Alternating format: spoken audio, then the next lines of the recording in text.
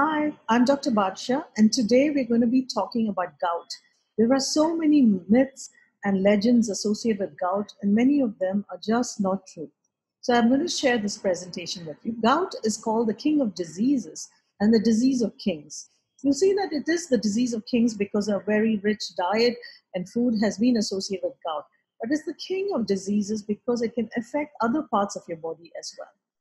So early uh, uh, pre-humans and chimpanzees and monkeys did not have high uric acid levels in the blood, and somehow high levels of uric acid have been associated with intelligence uh, because low levels of uric acid, less than 3 milligrams, associated with Alzheimer's, Parkinson's, and other neurodegenerative disorders.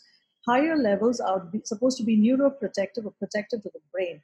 So we're not sure whether actually the act of eating meat and having some uric acid in the blood was protective and helped humans uh, evolution.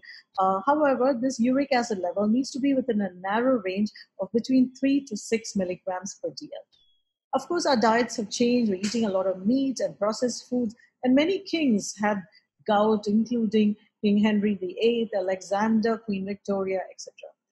Gout itself is an extremely painful condition, and the, the diagnosis has to be made right. Gout starts suddenly, affects certain joints, especially the big toe or the ankle or the foot, the knee sometimes. It rarely occurs in the upper extremities, but it's very sudden in onset and very, very, very painful.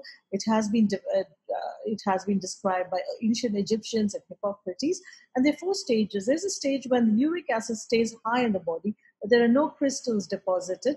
Then the uric acid crystals get deposited in the joints without any symptoms. After that, we see crystal deposits with flare ups of gout. And in advanced stages, we see a sort of chronic arthritis where there are these tophi or collections of uric acid around the joints, around the elbows and the fingers, and erosions and joint damages, actually. What happens is when we see here the crystal, when the crystal falls into the joint, it's eaten by a special inflammatory cell called the inflammasome, and these produces certain chemicals or cytokines, which are like, like chemicals which go into the joint and produce a very acute and sudden inflammation, which uh, can be extremely painful. Now we see this a lot that not only is there redness around the big toe, but sometimes around the ankle, and sometimes we see a redness of the whole skin, which looks like cellulitis, which is a skin infection. So the, the pain of gout has been actually even compared to the pain of childbirth. It's that bad. And sometimes people can't even have the sheet, bed sheet on their foot. This is how the uric acid looks under the microscope. These crystals look really quite pretty uh, under the polarized microscope, but they're capable of causing so much pain and can cause joint damage like this, especially in the big toe over time. We in our clinic use the ultrasound. We see here, this is the toe, and we see this is a marker of inflammation inside the joint. There's fluid in the joint, and we can actually see some crystal over here. And we also sometimes see what's called a double contour or two lines, which are supposed to be the joint line. And here's a collection which actually looks like a seed or a pearl. And that's a tophus, where there's collection of many uric acid crystals inside the joint. Now, I want to emphasize that uric acid is not just due to diet. People always think it's about their food, but there's a genetic defect which contributes at least equally as does diet. Now, diet is not just rich in purines, which are a type of protein, but also foods which are rich in fructose, so high sugar, especially natural sugar coming from fruits and fruit juices, as well as alcohol.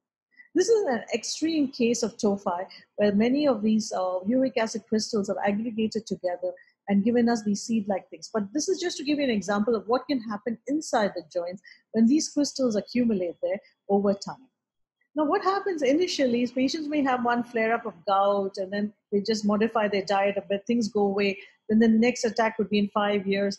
Then the attacks come closer and closer together and they get more and more severe till they reach the stage called chronic gout, which is actually quite destructive to the joint.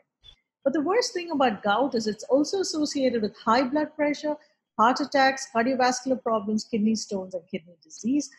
And when we manage gout, we should not just be paying attention to the acute attack, the management of the acute attack, but we need to pay attention to lowering uric acid in the body and preventing future attacks. In the acute attack, we use painkillers, anti inflammatories. These should not be used in patients who have kidney problems or liver disease. We sometimes use colchicine and also steroids as injections or as tablets.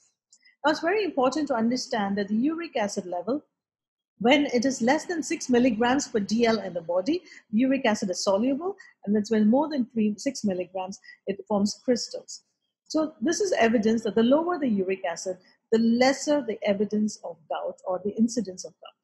Now, diet. Diet alone cannot do this in most cases. If your uric acid level is around seven, then yes, maybe add some mod- moderation of certain factors, you can bring your uric acid less than six or closer to the target to prevent attacks of gout. But if the uric acid is more than 9, 10, 8, then it's quite impossible to achieve this by diet alone, especially someone who's not an alcoholic or not eating red meat every day. It's very hard to achieve levels or lowering the uric acid by more than one milligram. So you probably will, with a very stringent diet, be able to lower the uric acid by one milligram per DL. But overall, it needs to be done. So the most important factors is losing weight, drinking water, and avoiding certain foods. The foods to be avoided are basically red meat, which includes lamb, beef, and pork, as well as shellfish like shrimps, lobsters, etc. You can eat moderate quantities of chicken and fish, especially fish which is high in omega 3, such as salmon. So, this is okay, but again, it's moderation which is a key. Alcohol should be avoided, and in alcohol, beer is the worst offender, followed by other types of spirits, followed by wine. Also, sweetened beverages and fructose high foods, such as fruit juices, must be avoided. This is a table actually showing us the relative risk of gout and the higher the thing. So diuretics are certain tablets which increase your urine excretion. That should be avoided, as is alcohol. Here you see here beer, spirits, and wine. High blood pressure is associated with it, and a high body mass index or obesity. Sweetened beverages, fructose, seafood, including which which uh, refers to shellfish and meat, and dairy products reduces the risk of gout by half. Cherries, especially a cherry juice or cherries, about 10 to 12 cherries per day can decrease the risk of gout, as can dairy products. Dairy products cuts the risk of gout by half.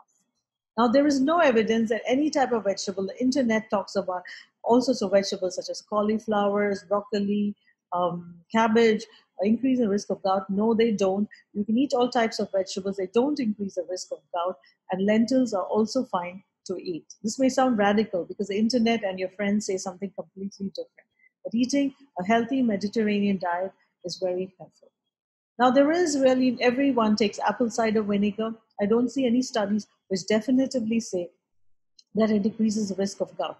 Now, vitamin C can lower uric acid levels, but it does not re- decrease the risk of gout. And I have seen studies which show that vitamin C can actually increase the risk of kidney stones uh, in some patients, especially those with high uric acid levels. So I would not take vitamin C just to reduce uric acid levels. Now, some people taking baking soda as well, and there's again no evidence that baking soda is helpful for gout. So I would avoid these kind of things. It's not necessary. Ultimately, many people, as I said, will need uric acid lowering medication in the long term, and these are allopurinol or febuxostat, and they need to be used the long term. There are newer medications as well for people who don't respond to these kind of treatments, and there's a lot of treatment. So gout can be well managed, it can be prevented, and attacks can be prevented. So um, I would advise you if you have chronic gout, which is not well controlled, to see a rheumatologist. Thank you.